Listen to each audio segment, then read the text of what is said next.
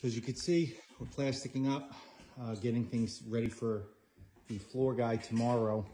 Uh, I just wanted to show you this pretty cool product. Um, you've probably heard of Zip Wall before. You may not have heard of this one, Reuzip. It's basically the same thing. Um, we bought this.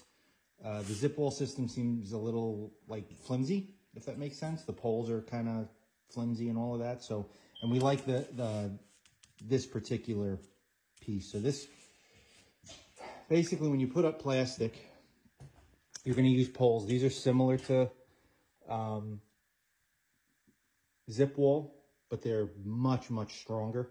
They're much more stable. Um, Trimaco makes them, easy up poles. They're not the cheapest, uh, but they do a great job. So what you do is you basically, you put up the plastic as a wall. Same as this. This one's just taped up because we're not going to have access through it. But you want to be able to get through the plastic, get